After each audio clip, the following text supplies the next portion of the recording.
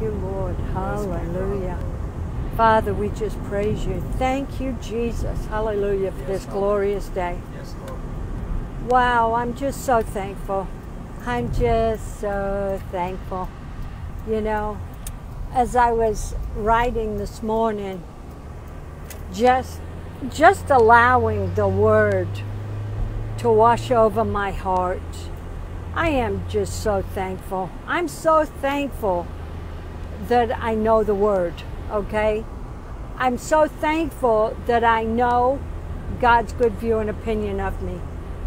Oh my goodness, you know, it was just last week that I really realized what Paul was talking about in 1 Corinthians. Can you believe this? For so many years, I've been studying the Bible, preaching the gospel, and yet it wasn't until last week when I saw 1 Corinthians 1:17, "For Christ sent me not to baptize, but to preach the gospel, not with the wisdom of words, lest the cross of Christ should be of none effect."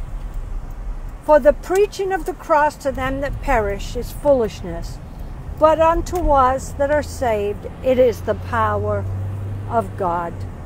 For it is written, I will destroy the, wis- the wisdom of the wise and will bring to nothing the understanding of the prudent. And you know, I'd always interpreted that as you know, the wisdom of this world being education or those that go and they get all puffed up in their mind with the education. But you know, what he's talking about is the serpent's wisdom. He's talking about the wisdom of the world, which is the wisdom that came into this world through Satan. And you know what? Everybody's on that bandwagon. They're trying to prove who they are through what they do, what they possess, how they look. And God destroyed it in one fell swoop in the cross of Jesus Christ. He crushed the head of the serpent. He did exactly what he promised in Genesis 3:15.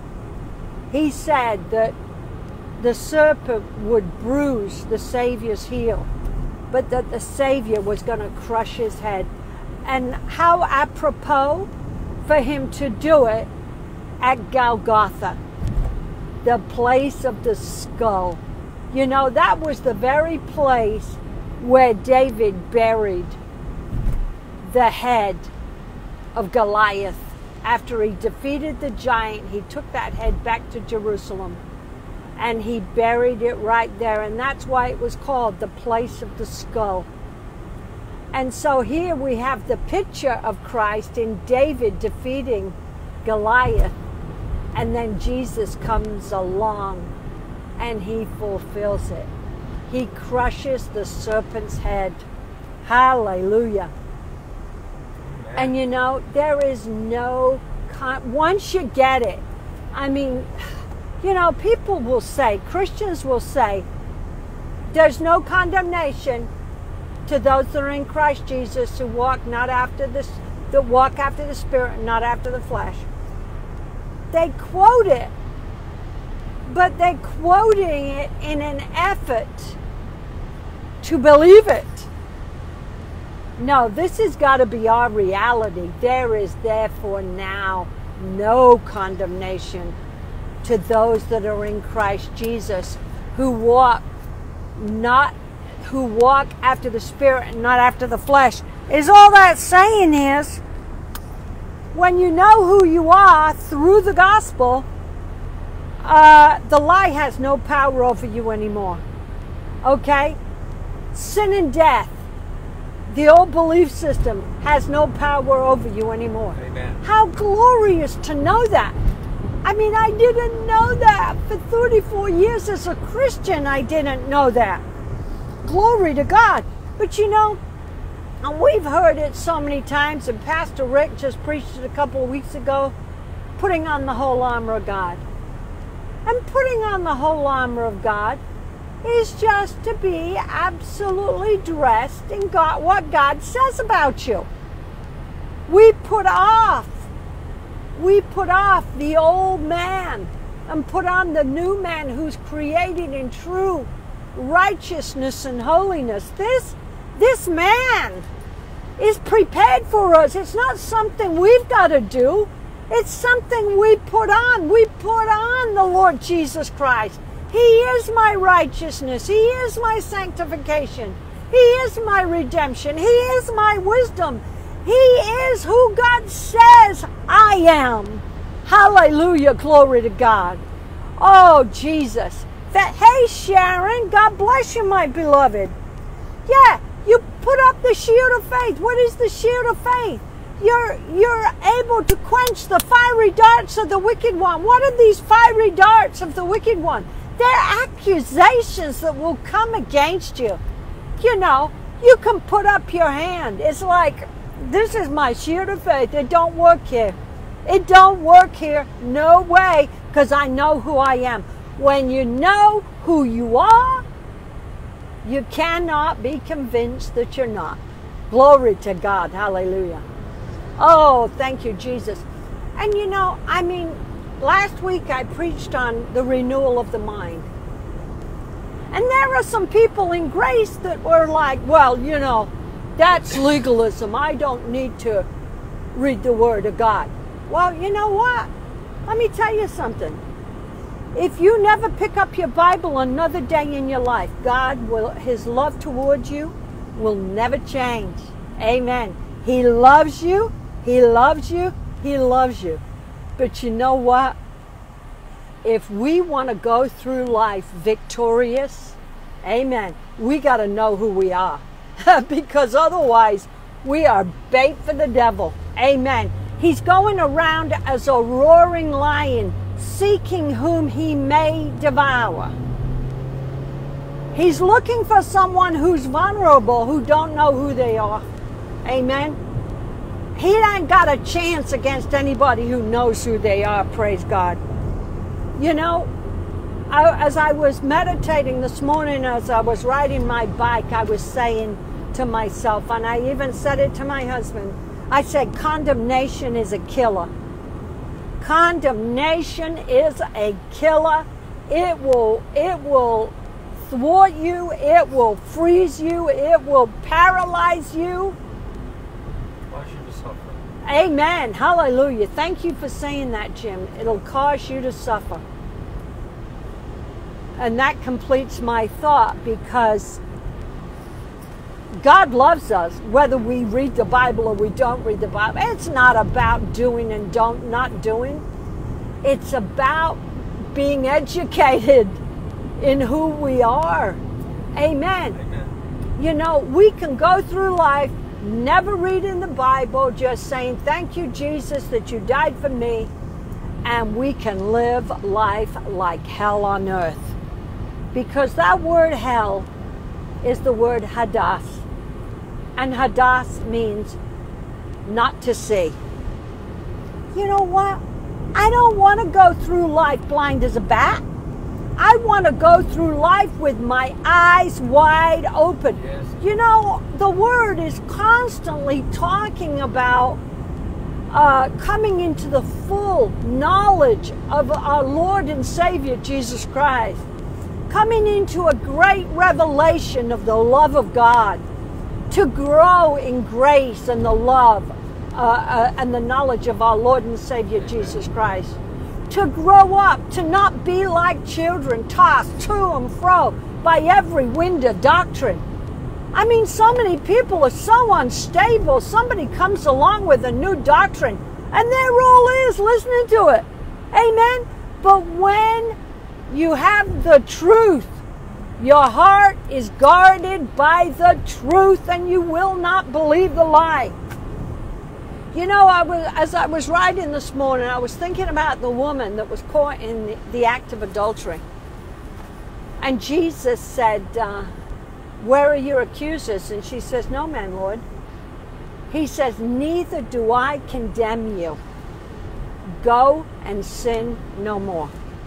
Now, if you're carnally minded, you would interpret that as Jesus saying, Well, I don't condemn you this time, but don't go do it again. That's not what he's saying. What he was saying is listen, before you met me, you lived under condemnation. You lived under the condemnation that you're not as you ought to be. And you went about trying to prove to yourself that you're lovable. And that's why you did all that you did. Well, I'm giving you the word that'll set you free. I don't condemn you.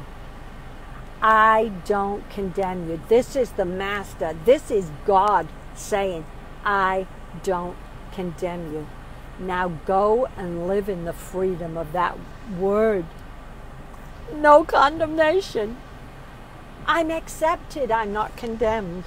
The Master accepted me. So who cares? Hallelujah. That's true freedom when you come to know that. Glory to God. And that was the word to her, to every one of us. I don't condemn you. Jesus said, The Son of Man came not into the world to condemn the world, but that the world may be saved. Whosoever believeth on him shall not enter into condemnation, and he that believeth not is condemned already. You see, the condemnation was already here. Jesus Christ came to set us free from this life of being condemned, of knowing ourselves according to the flesh. He says, I've come to set you free. But if you don't listen to what Jesus said, and your heart is not fully persuaded of the value that you are to Him, you'll be a sucker for the lie. And I don't want to be nobody's sucker, baby. I just want to believe the truth. Amen. Glory to God.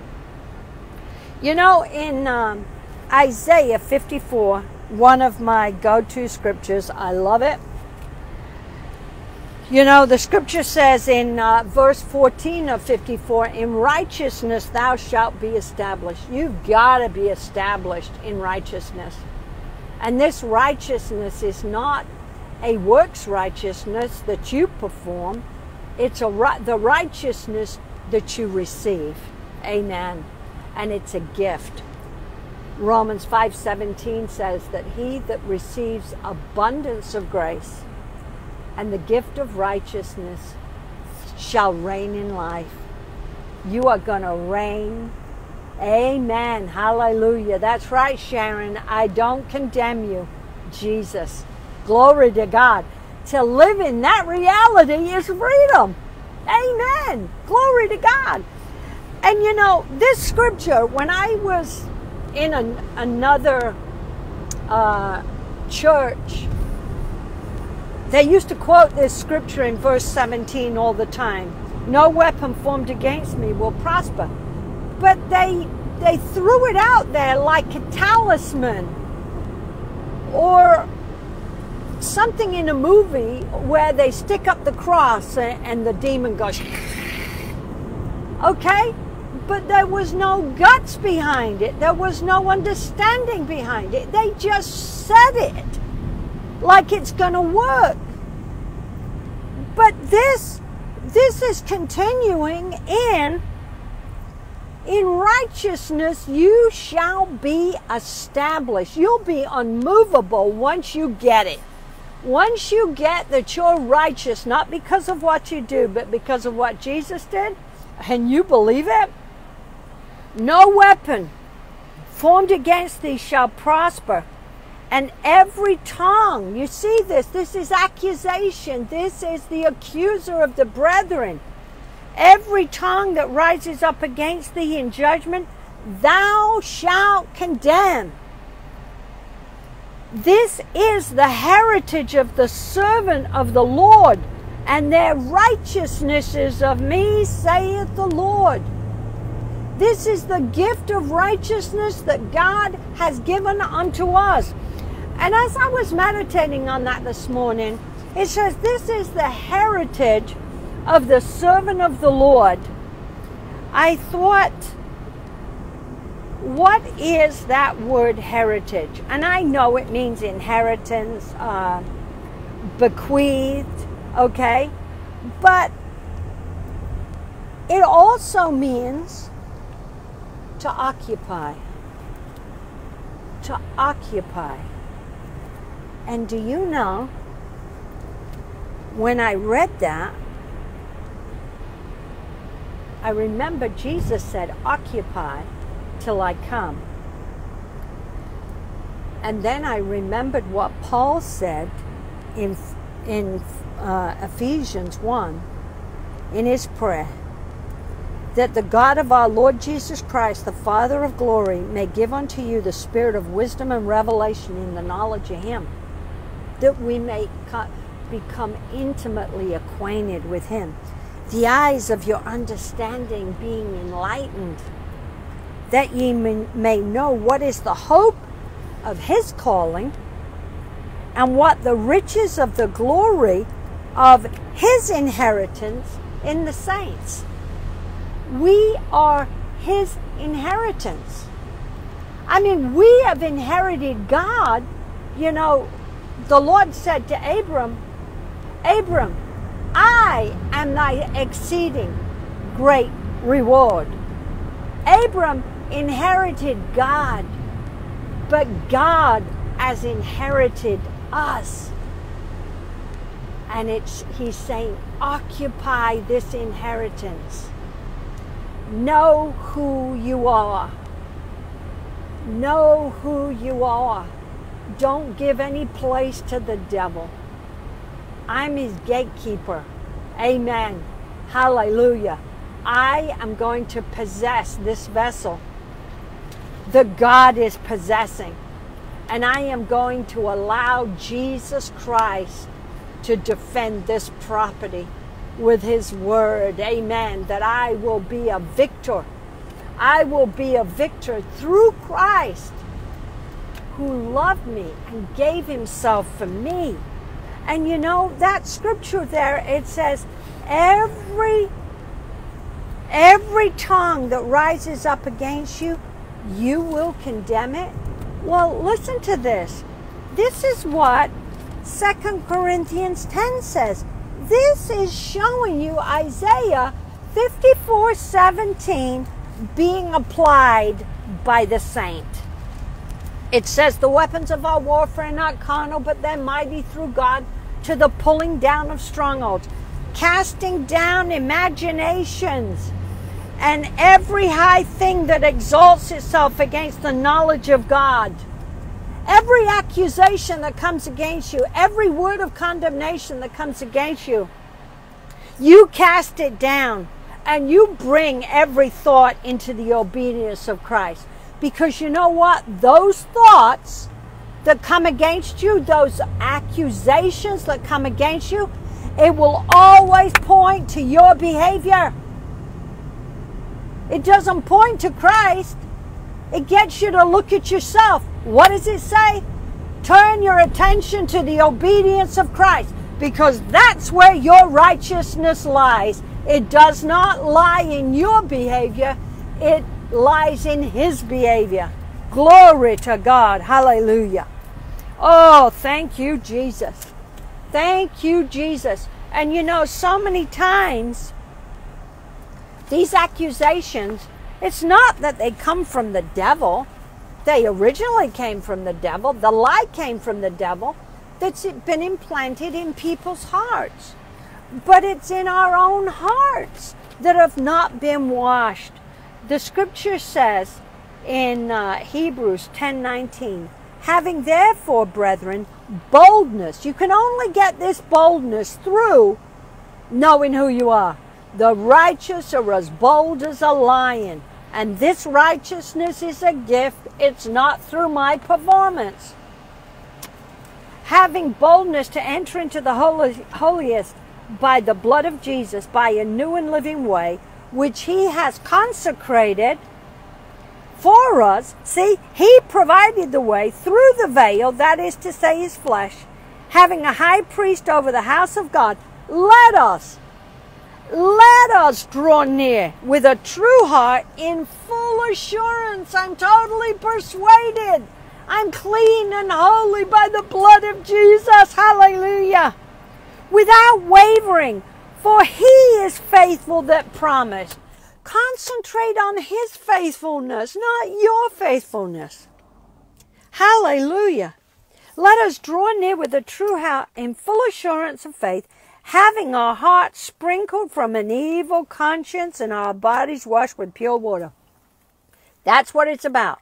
That's why I'm always talking about feeding on the word, feeding on the word, because our conscience, our conscience, BC, is an evil conscience, and that word evil is filled with toil and labor.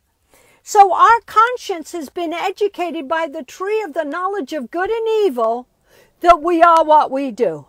And that's all got to get washed out.